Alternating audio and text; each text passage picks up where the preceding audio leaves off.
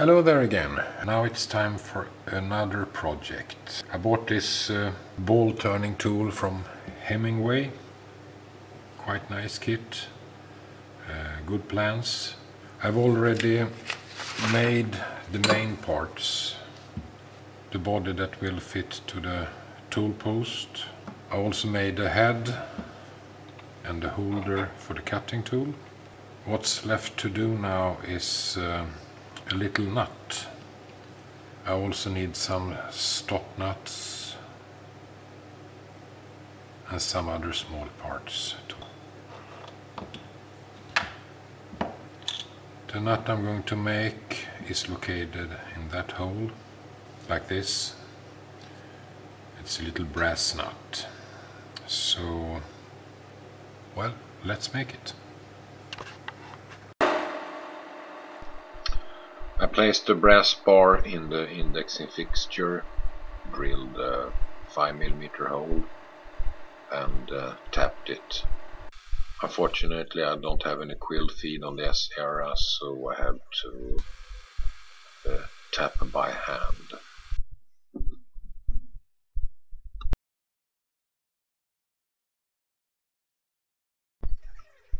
And the feed screw seemed to fit quite alright. Milling down the brass bar to correct size and uh, then using a ready mill 6 millimeter to make it fit inside the sliding part of the head.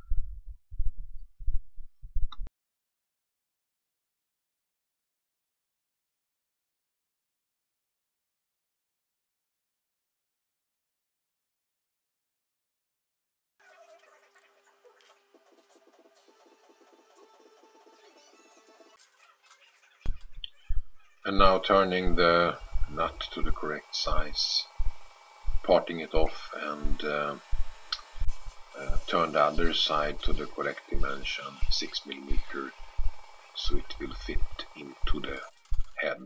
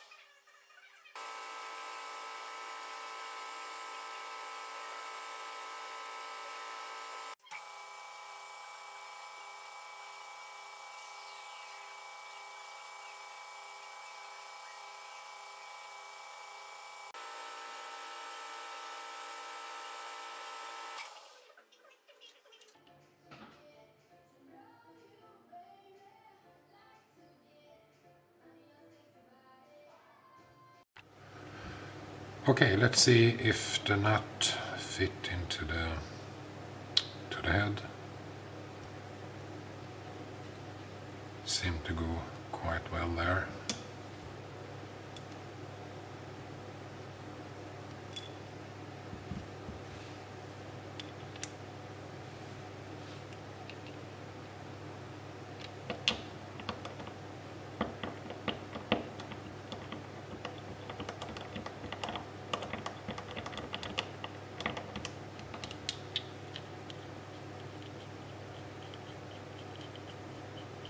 We placed a little gib as well. Now it's not tightened because uh, there is no bolts for that yet, but uh, it seemed to work quite well.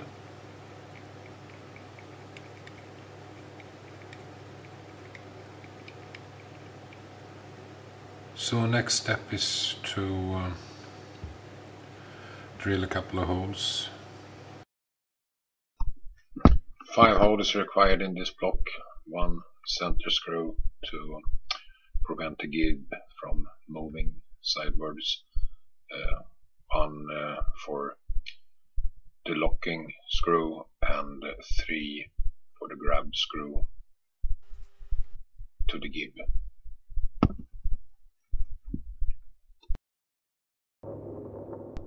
For this operation I use my Mattsson Zetterlund milling machine and I have a quill feed on that one so it's okay to power tap.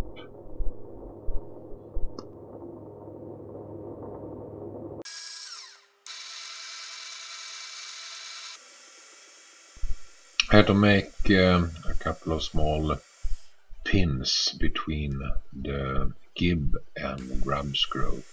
It's two and a half millimeter brass uh, and it's uh, to 60 degrees in one end.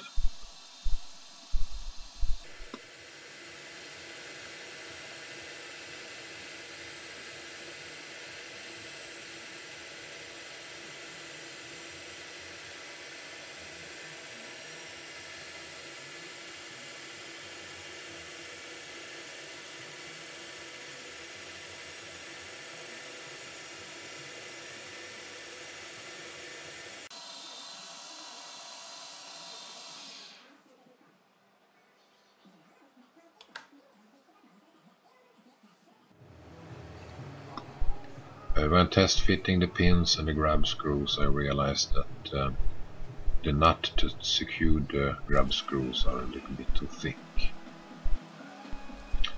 The head is also a little bit too square so I have to do something about that. Maybe put it in the lathe and uh, make it a little bit rounder.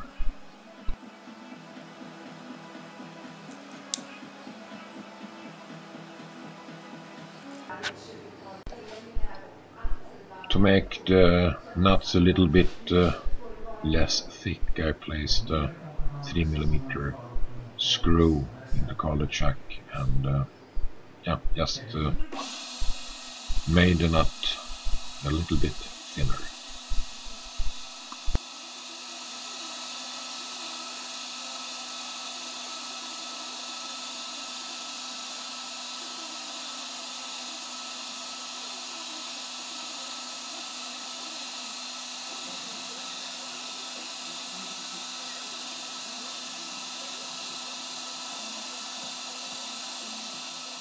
Now we have to drill a little hole in uh, the sliding part of the head, uh, make place for a post rod and uh,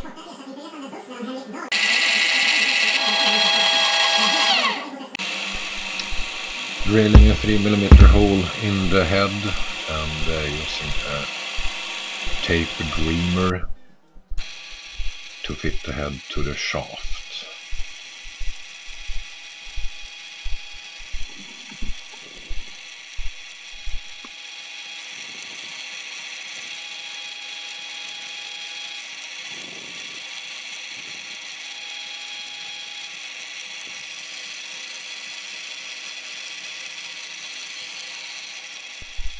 With the tapered pin in place it's easy to mount the head in the lathe and uh, make it a little bit rounder.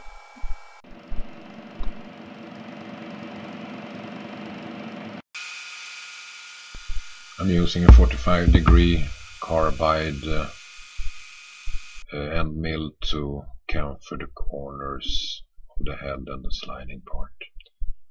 And when I do this I realize that the head is still a little bit too square. So I probably have to put it in lathe again and uh, make it a little bit more rounded.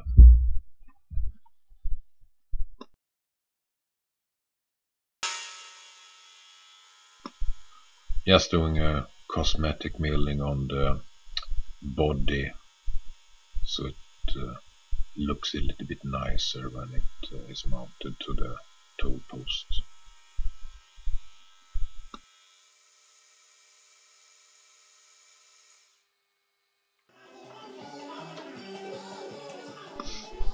And now back to the lathe and uh, turn the head a little bit rounder.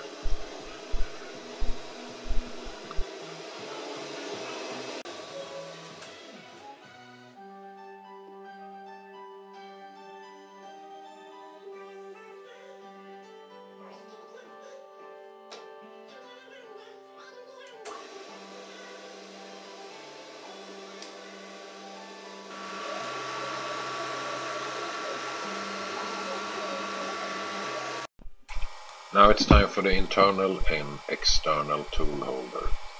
I placed the square piece in the 4 jaw chuck and turned down both ends to 12 millimeter.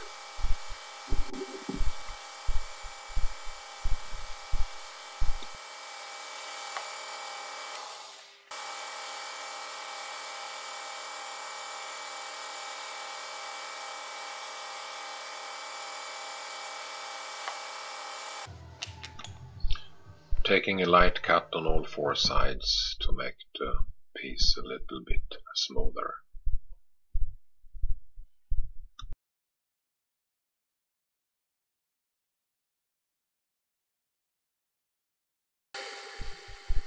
Just cutting it in two parts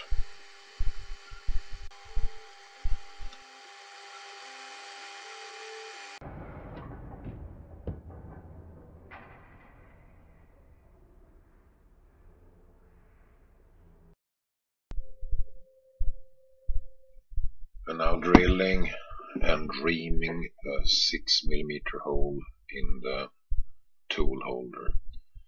It's a 7 degree angle.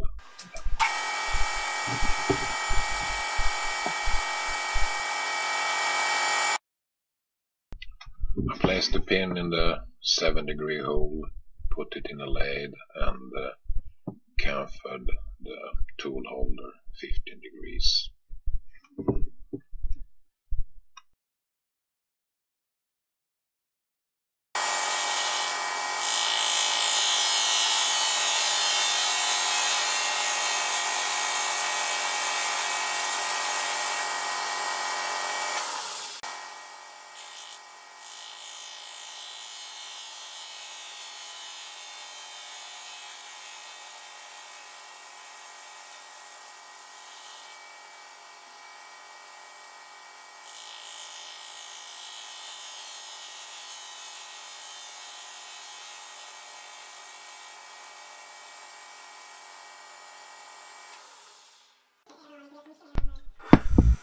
I used the 6mm carbide bar to make the cutting tool. Uh, first I just grind a flat area so the grub screw will have something to grip on. And then, uh, well, just uh, grinding all the angles and uh, side reliefs that's needed for the tool bit.